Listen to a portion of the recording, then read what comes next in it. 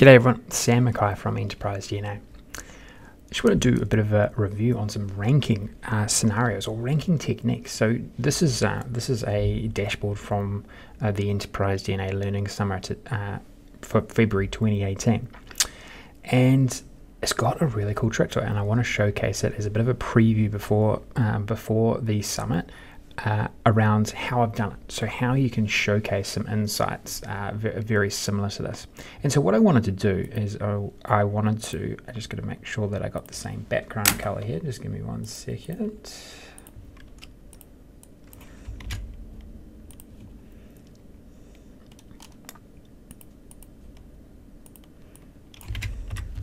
So what I wanted to do is I wanted to see customer names, but I only wanted to see the top 20 and I wanted to showcase it in a table. And interestingly enough, I didn't, it wasn't some core measure, some simple measure. It was actually quite a complex measure. You'll see here, I've got profit growth year on year.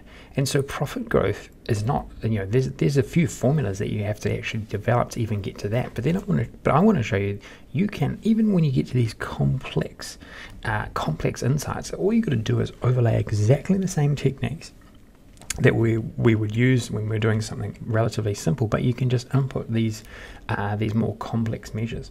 And so, um, if I just jump to the formula here, you'll see that this is a this is actually a uh, I guess you could call it a some a, a pattern of, of formula where uh, we are evaluating if say a particular customer in this case is ranked between a certain value based on a particular metric.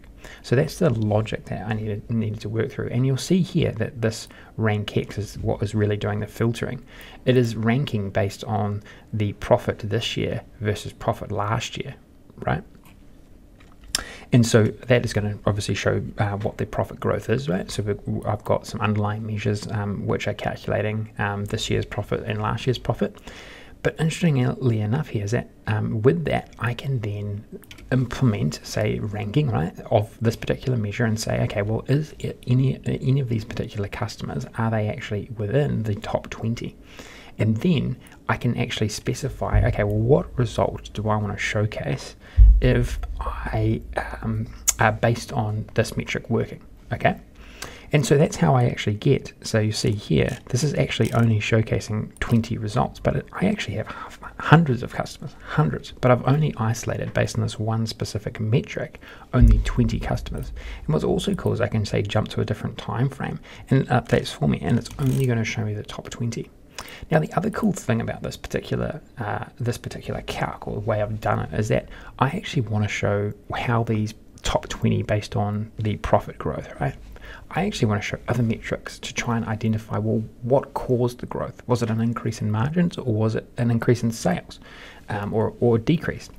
Uh, well, usually, well, it's most going to be an increase, right? Because these are our best performing customers. But, but so that, but I also only want to show the top 20 there too. And this is how, um, or like how reusable this formula is. So let's have a look at this function, this formula here. You'll see that this bottom this bottom bit, which is within the filter function, is exactly the same as the calculation before. So I'm only going to um, evaluate to true, or a customer is only going to evaluate to true if the same logic plays out. So if their uh, profit growth or profits between this year and last year keeps them in the top 20 for that particular metric. But instead of showing this particular measure up here, I've decided, well, I actually only want to show the sales this year versus last year. And so that's how I can then isolate that particular insight and only showcase it for the customers I care about. And, I and when I can put it in a table like this, I can show them side by side.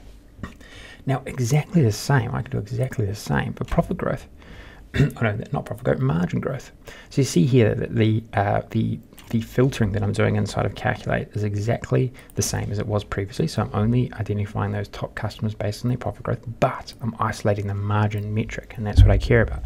I want to see is it because margins have increased that um, uh, that those uh, those those profits has increased. And what's quite interesting if we if we have just have a look at this table, I'll just jump out of here.